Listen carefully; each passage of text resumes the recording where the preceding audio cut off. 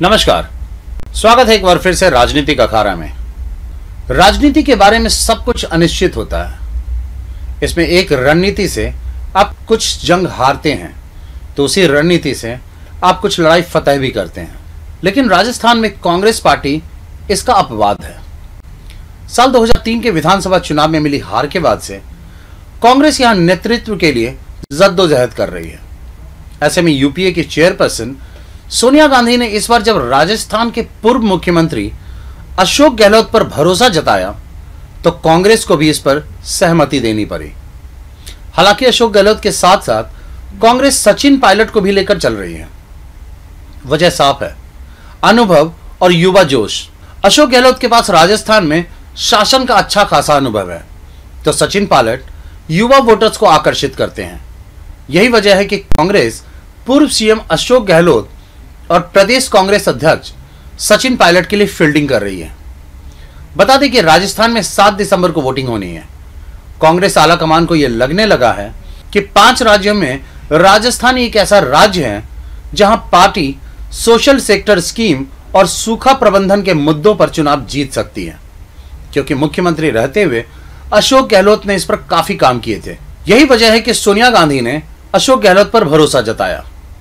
अशोक गहलोत उन्नीस से जोधपुर के सुरदारपुर से विधायक रहे हैं। पहले ऐसी चर्चा थी कि वो इस बार का चुनाव नहीं लड़ेंगे। पार्टी के एक हिस्से की राय थी कि मध्य प्रदेश फॉर्मूले के तहत राजस्थान में भी इस बार वरिष्ठ नेताओं को आगे न लाया जाए। लेकिन शीर्ष नेतृत्व को लगा कि राजस्थान में एमपी का फॉर्मूला अप्लाई नहीं किया जा सकता। राजस्थान में चुनाव के मुद्दे मध्य प्रदेश के चुनाव मुद्दे से अलग हैं। इसलिए शीर्ष नेतृत्व ने गहलोत का नाम आगे बढ़ाया। पार्टी अध्यक्ष राहुल गांधी ने अशोक गहलोत को सरदारपुर से चुनाव लड़ने के लिए राज़ी कर लिया। राजस्थान में कांग्रेस की राजनीति में अब तक का सबसे बड़ा सवाल यह है कि अशोक गहलोत और सचिन पायलट में सीएम का चेहरा कौन है? चुनाव खत्म होने तक यह सस्पेंस बरकरार रहने वाला है। पार्टी के संगठन महासचिव और पूर्व सीएम अशोक गहलोत ने बुधवार को खुद और पीसीसी अध्यक्ष सचिन पायलट के चुनाव लड़ने का ऐलान करते हुए प्रदेश की सियासत में फिर से हलचल पैदा कर दी है। गहलोत सरदारपुरा से चुनाव लड़ रहे हैं, जबकि पायलट टोंग से चुनावी मैदान में है। दरअसल, अशोक गहलोत और सचिन पायलट दोनों ही राजस्थान में कांग्रेस के कद्दावर और लोकप्रिय नेता हैं। दोनों ही नेता प्रदेश में मुख्यमंत्री पद के प्रमुख दावेदार भी है। ऐसे में दोनों दिग्गज नेताओं का विधानसभा चुनाव में उतरने का फैसला काफ़ी अहम हो सकता है। प्रदेश में बीजेपी सरकार के खिलाफ जिस तरह से लोगों के बीच असंतोष है, उसे कांग्रेस इस बार के चुनाव में पूरी तरह से भुनाने की कोशिश कर रही है।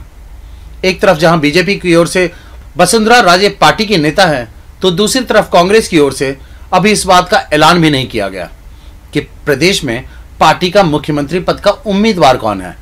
लेकिन जिस तरह से दोनों ही उम्मीदवारों ने चुनाव लड़ने का फैसला लिया है, उसके बाद कयास लगाए जा रहे हैं कि गहलोत और पायलट दोनों ही मुख्यमंत्री पद की रेस में बराबरी से बने हुए हैं।